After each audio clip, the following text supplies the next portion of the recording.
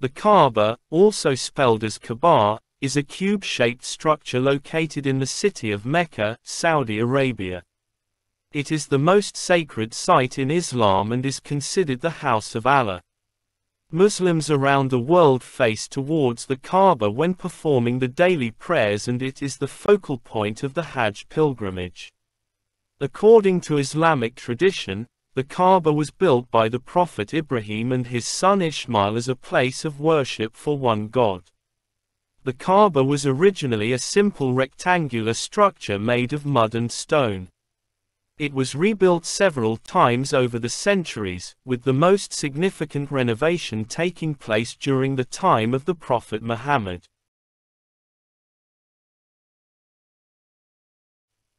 Before the arrival of Islam, the Kaaba was a center of polytheistic worship, with over 360 idols placed inside it. The Prophet Muhammad cleansed the Kaaba of its idols and dedicated it to the worship of one God, Allah. The Kaaba is the most sacred site in Islam and is considered the house of Allah. Muslims around the world face towards the Kaaba when performing the daily prayers, no matter where they are in the world. The Kaaba is also the focal point of the Hajj pilgrimage, which is one of the five pillars of Islam. The Hajj pilgrimage takes place during the Islamic month of Dhul Hijjah and involves a series of rituals, including the circumambulation of the Kaaba. Pilgrims walk around the Kaaba seven times in an anti-clockwise direction, as a symbol of unity and devotion to Allah. The black stone, a sacred object that is embedded in one corner of the Kaaba, is also kissed or touched by pilgrims during the Hajj. The Kaaba is a symbol of unity for Muslims around the world. It is a testament to the enduring power of Islamic faith and culture and is a source of inspiration and guidance for millions of Muslims worldwide.